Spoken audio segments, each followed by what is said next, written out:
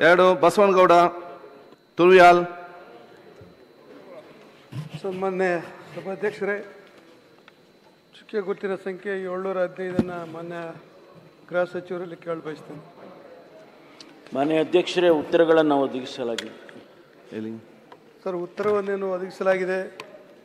ಇದರಲ್ಲಿ ಮಸ್ಕಿ ನೂತನ ತಾಲೂಕಾದ ಆದಮೇಲೆ ಅಗ್ನಿಶಾಮಕ ಠಾಣೆಯನ್ನು ಮಾಡಬೇಕಂತೇಳಿ ಈಗಾಗಲೇ ಎರಡು ಸಾವಿರದ ಹದಿನೇಳರಿಂದ ಇಲ್ಲಿವರೆಗೂ ಕೇಳ್ತಾ ಬಂದಿದೆ. ಆದರೆ ಇವತ್ತು ಸಿಂಧನೂರು ಲಿಂಗಸೂರು ವತಿಯಿಂದ ಭಾಳಷ್ಟು ದೂರ ಆಗ್ತದೆ. ಇವತ್ತು ಮೂವತ್ತು ಮೂವತ್ತು ಕಿಲೋಮೀಟ್ರ್, ಮಾನವಿಯಿಂದ ಮೂವತ್ತು ಅರುವತ್ತು ಕಿಲೋಮೀಟ್ರ್ ಆಗೋದ್ರಿಂದ ಇವತ್ತು ಮಸ್ಕಿಯಲ್ಲಿ ಇವತ್ತು ನೂತನ ಒಂದು ಅಗ್ನಿ ಠಾಣೆ ಅವಶ್ಯಕತೆ ಇದೆ ಅಂತ ನಾನು ಕೇಳ ಕೇಳಕ್ಕೆ ಬಯಸ್ತೇನೆ.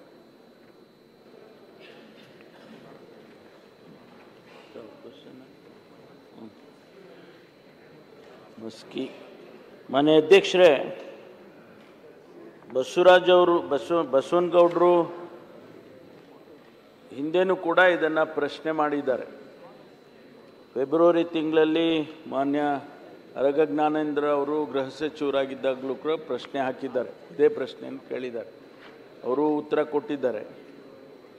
ಅವರು ಭಾಳ ಮಸ್ಕಿ ತಾಲೂಕ್ ಕೇಂದ್ರ ಆಗಿದೆ. ಹಾಗಾಗಿ ಸ್ವಾಭಾವಿಕವಾಗಿ ಅಲ್ಲಿ ಅಗ್ನಿಶಾಮಕ ಠಾಣೆ ಇರಬೇಕು ಅಂತಕ್ಕಂಥದ್ದು ಅವರ ಬಯಕೆ. ಅದು ತಾಲೂಕಿನ ಹೆಡ್ ಕ್ವಾರ್ಟರ್ಸ್ನಲ್ಲಿ ಇರಬೇಕು ಅಂತಕ್ಕಂಥದ್ದು ನಿಜ. ಆದರೆ ಈ ನ್ಯಾಷನಲ್ ಅಡ್ವೈಸರಿ ಕೌನ್ಸಿಲ್ ಅಂತ ಏನಿದೆ, ಕೇಂದ್ರ ಸರ್ಕಾರದಲ್ಲಿ ಒಂದು ಸ್ಟ್ಯಾಂಡಿಂಗ್ ಫೈರ್ ಅಡ್ವೈಸರಿ ಕೌನ್ಸಿಲ್ ಅಂತ ಮಾಡಿದ್ದಾರೆ.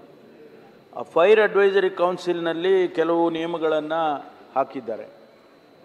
ಯಾವ ಆಧಾರದ ಮೇಲೆ ನೀವು ಫೈರ್ ಸ್ಟೇಷನ್ ಕೊಡಬೇಕು ಅನ್ನೋದನ್ನ ಗೈಡ್ಲೈನ್ಸನ್ನು ಮಾಡಿದ್ದಾರೆ. ಒಂದು, population, topography, risk factor, response time based on distance from nearest fire station.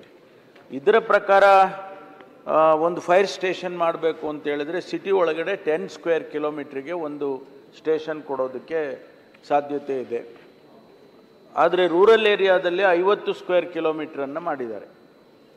ಅವ್ರು ಕೇಳ್ತಾ ಇರ್ತಕ್ಕಂಥದ್ದು ಮಸ್ಕಿಗೆ ಕೊಡಿ ಹಾಗೆ ಅಂತೇಳಿ. ಮೂವತ್ತು ಕಿಲೋಮೀಟ್ರಲ್ಲಿ ಮತ್ತೊಂದು ಫೈರ್ ಸ್ಟೇಷನ್ನು ಈಗಾಗಲೇ ಇದೆ, ಅದು ಕೆಲಸ ಮಾಡ್ತಾ ಇದೆ ಲಿಂಗ್ಸೂರಲ್ಲಿ. ಹಾಗಾಗಿ ಐವತ್ತು ಸ್ಕ್ವೇರ್ ಕಿಲೋಮೀಟ್ರಿಗೆ ಒಳಗಡೆ ಇರೋದ್ರಿಂದ ಅದು ಕೊಡೋಕ್ಕೆ ಬರೋದಿಲ್ಲ ಅಂತೇಳಿ ಈಗಾಗಲೇ ಮಾನ್ಯ ಹಿಂದಿನ ಗೃಹ ಸಚಿವರು ಉತ್ತರ ಕೊಟ್ಟಿದ್ದಾರೆ. ಈಗ ನಾನು ಅದನ್ನೇ ಕೊಡಬೇಕಾಗ್ತದೆ. ಅಲ್ಲ ಅವನ ಪಾಲಿಸಿ ಚೇಂಜ್ ಮಾಡಿ ಪಾಲಿಸಿ ಗೌರ್ಮೆಂಟ್ ಆಫ್ ಇಂಡಿಯಾದವ್ರು ಚೇಂಜ್ ಮಾಡಬೇಕು ಮಾನ್ಯ ಅಧ್ಯಕ್ಷರೇ. ನಾವು ಮಾಡೋಗಿದ್ದಿದ್ರೆ ಖಂಡಿತವಾಗಿ ತಾಲೂಕು ಹೆಡ್ ಕ್ವಾರ್ಟರ್ಸ್ ಇದೆ ಕೊಡಲೇಬೇಕು ಅಂತೇಳಿ ನಾವು ಒಂದು ಸ್ಪೆಷಲ್ ಕ್ರೈಟೀರಿಯಾ ಮಾಡಿ ನಾವು ಕೊಡ್ಬೋದಾಗಿತ್ತು. ಆದರೆ ಗೌರ್ಮೆಂಟ್ ಆಫ್ ಇಂಡಿಯಾ ರೆಗ್ಯುಲೇಷನ್ಸಿನ ಆಧಾರದ ಮೇಲೇ ನಾವು ಮಾಡಬೇಕಾಗ್ತದೆ. ಅದಕ್ಕಾಗಿ ಈಗ ಸದ್ಯಕ್ಕೆ ಸಾಕ್ ಆಗೋದಿಲ್ಲ ಅಂತಕ್ಕಂಥ ಮಾತು. ಜೊತೆಗೆ ಐದು ವರ್ಷದ ಸ್ಟೆಟಿಸ್ಟಿಕ್ಸ್ ತೆಗೆದಿದ್ದೇವೆ. ಎಷ್ಟು ಕರೆ ಬಂದಿದೆ ಈ ಅಗ್ನಿಶಾಮಕ ಇದಕ್ಕೆ, ಎಲ್ಲಿ ಫೈರ್ ಆಗಿರ್ತಕ್ಕಂಥದ್ದು, ಅದಕ್ಕೆಲ್ಲ ಎಷ್ಟು ಕರೆ ಬಂದಿದೆ ಅಂತೇಳಿ ಕೇಳಿ, ನೋಡಿದ್ರೆ ಕೇವಲ ಇನ್ನೂರ ನಲವತ್ತ ಮೂರು ಅಗ್ನಿ ಕರೆಗಳು ಬಂದಿದ್ದಾವೆ ಅಂದರೆ ಐದು ವರ್ಷಕ್ಕೆ. ಹಾಗಾಗಿ ಅಂಥ ಅವಶ್ಯಕತೆ ಹೆಚ್ಚು ಕಾಣೋದಿಲ್ಲ ಅಂತಲೂ ಕೂಡ ಇದನ್ನು ಹೇಳಬೇಕಾಗ್ತದೆ. ಆದ್ದರಿಂದ ಈಗ ಸದ್ಯದ ಪರಿಸ್ಥಿತಿನಲ್ಲಿ ಕೊಡೋದಕ್ಕೆ ಸಾಧ್ಯ ಇಲ್ಲ.